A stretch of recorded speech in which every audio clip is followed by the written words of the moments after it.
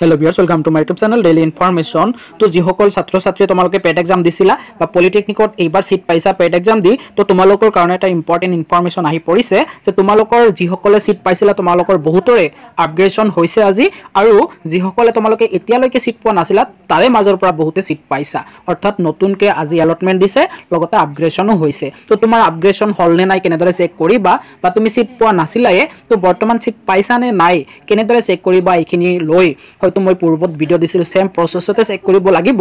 তো মই তোমালোকক চেক কৰাই দেখুৱাই দিম বা তোমালোকে নিজেও চেক কৰিবা যে তোমালোকৰ আপগ্ৰেডেশ্যন হৈছে নেকি ক'তবা বা তুমি নতুনকৈ ছিট পাইছা নেকি। তো তাৰ কাৰণে কি কৰিবা ক্ৰমত আহিবা ক্ৰমত আহি লিখিবা D T E dot Assam dot gov dot in মাৰি চাৰ্চ কৰি দিবা। চাৰ্চ কৰাৰ পিছত তলত আহিবা। এইফালে তলত চোৱা তোমাৰ ইয়াতে লিখা আছে যে pay two thousand twenty one online counselling এটা মাৰি দিবা। মাৰাৰ পিছত এনেকৈ আহিব অ'কে মাৰি দিবা। অ'কে মাৰাৰ পিছত চাওক ইয়াতে কি আহিছে যে fifth allotment list is live now live বুলি লিখিছে। Login to check your allotment status check কৰিব লাগিব। তো আকৌ চোৱা যিসকলে তোমালোকৰ আপগ্ৰেডেশ্যন হৈছে বা নতুনকৈ আজি ছিট পাইছা তোমালোকৰ ছাবমিশ্যনৰ লাষ্ট ডেট হ'ব অৰ্থাৎ একচেপ্টেণ্ট লেটাৰ আপলোড কৰিব লাগিব। তো সেইটো হ'ল পোন্ধৰ তাৰিখ। তো আজি বাৰ তাৰিখ পোন্ধৰ তাৰিখ তোমালোকৰ একচেপ্টেণ্ট লেটাৰ আপলোড কৰাৰ লাষ্ট সময়সীমা দিছে। যদি তোমাৰ আপগ্ৰেডেশ্যন হৈছে আপগ্ৰেডেশ্যনৰ কাৰণে যোনটো একচেপ্টেণ্ট লেটাৰ হ'ব সেইটোও ভিডিঅ'ৰ ডিছক্ৰিপশ্যনত পাবা। বা নতুনকৈ যদি তুমি এলটমেণ্ট পাইছা তো তুমি কি কৰিব লাগিব? বেলেগ এটা একচেপ্টেণ্ট লেটাৰ আপলোড কৰিব লাগিব। সেইটোও ভিডিঅ'ৰ ডিছক্ৰিপশ্যনত লিংক পাবা তাৰ পৰা প্ৰিণ্ট আউট কৰি আপলোড কৰি দিবা। বা যদি পাৰ্টি আপলোড কৰিব লাগে যদি তুমি ফাৰ্ষ্ট ছিট পাইছা অৰ্থাৎ এতিয়ালৈকে ছিট পোৱা নাছিলে আপগ্ৰেডেশ্যন নহয় নতুনকৈ এলটমেণ্ট পাইছা দেন তুমি পাৰ্টিয়ে আপলোড কৰিব লাগিব তো পাৰ্টিৰ ভিডিঅ'ৰ ডিছক্ৰিপশ্যনত পাবা। তো তোমালোকে ইয়াতে আহিবা অহাৰ পিছত লগ ইন মাৰিবা। তো মই লগ ইন কৰোঁ তো লগ ইনত মাৰিলোঁ লগ ইনত মাৰাৰ পিছত ইয়াতে ৰোল নাম্বাৰটো মাৰিব লাগিব। তো তোমালোকৰ যোনটো পেটৰ ৰোল নাম্বাৰ আছিলে তো সেই ৰোল নাম্বাৰটো তোমালোকে যাৰ যোনটো ৰোল নাম্বাৰ আছিলে মাৰি দিবা। তো ৱেইট কৰা মই ৰোল নাম্বাৰ এটা মাৰি আছোঁ। তোমালোকক চেক কৰাই দিওঁ যে মই এইটো নম্বৰত ছিট পাইছেনে নাই তো তোমালোকক দেখুৱাই দিওঁ। তো ইয়াতে তোমালোকে ডেট অফ বাৰ্থটো চিলেক্ট কৰিব লাগিব। তো তোমালোকে নিজৰ নিজৰ যদিও তোমালোকে পলিটেকনিকত ছিট পাইছা তথাপিও তোমালোকে চেক কৰিবা।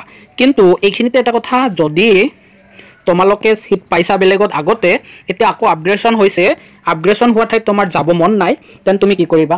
তো চিম্পলি একো কৰিব নালাগে একচেপ্টেণ্ট লেটাৰ তুমি আপলোড নকৰিবা।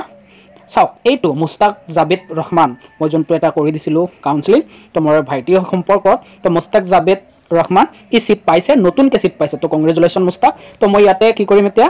ভিজিট মাই এডমিশ্যন পৰ্টেল চাওক ক'ত পাইছে? এইটো কিন্তু আগত পোৱা নাছিলে নতুন। এইবাৰ অৰ্থাৎ ফিফ্থ কাউন্সিলিঙত ছিট পাইছে। তো এডমিশ্যন পৰ্টেলত ভিজিট কৰিলোঁ।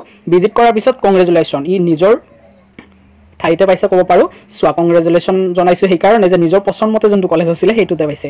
তো কাউন্সিলিং ফাইভ চিৰাং পলিটেকনিক এগ্ৰিকালচাৰত পাইছে যদিও এইটো টুৱেণ্টি ছিক্স নম্বৰ প্ৰিফাৰেঞ্চত আছিল।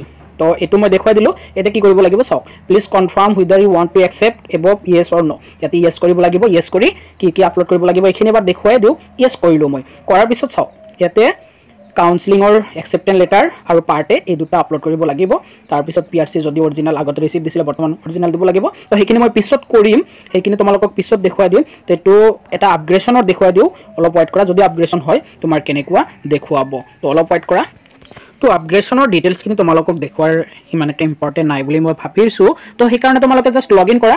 লগ ইন কৰিলে তোমালোকৰ ফাৰ্ষ্টত য'ত ছিট পাইছিলা সেইটো কাউন্সিলিং নাম্বাৰ কিমান আছিলে দেখাব তাত তলত আৰু এটা দেখাব কাউন্সিলিং ফাইভ তোমালোকে ছিট পাইছা আগত যদি প্ৰিফাৰেঞ্চ সাত নম্বৰত পাইছিলা বৰ্তমান চোৱা তিনি বা দুই বা পাঁচ তেনেকুৱা নম্বৰত পাইছা। তো তুমি জাষ্ট একচেপ্টেণ্ট লেটাৰটো আপলোড কৰিব লাগিব। তো বহুতৰ আপগ্ৰেডেশ্যন হৈছে মই যিমান দূৰ খবৰ পালোঁ আৰু বহুতে নতুনকৈ ছিট পাইছা। তো তোমালোকে ডিটেইলছ চেক কৰা আৰু যিসকলে ছিট পোৱা নাছিলে সিহঁতৰ মাজলৈ ভিডিঅ'টো শ্বেয়াৰ কৰি দিয়া। আৰু যদি তোমালোকে ছিট পাইছা য'ত পাইছা তাতে পঢ়িব বিচাৰা আপগ্ৰেডেশ্যন হৈছে যদিও দেন তুমি একচেপ্টেণ্ট লেটাৰ আপলোড কৰিব নালাগে তোমাৰ ছিট য'ত আছে তাতে থাকি যাব আৰু য'ত আপগ্ৰেডেশ্যন হৈছে সেইটো বেকেণ্ড হৈ যাব অৰ্থাৎ খালীয়ে থাকিব তাত আৰু নতুন ষ্টুডেণ্টে কোনোবাই ছিট পাব। তো এইখিনি আছিল ইনফৰমেশ্যন যদি চাই ভাল পোৱা নিশ্চয় লাইক এটা কৰিবা আৰু সকলোৰে মাজত শ্বেয়াৰ কৰি দিব। তো থেংক ইউ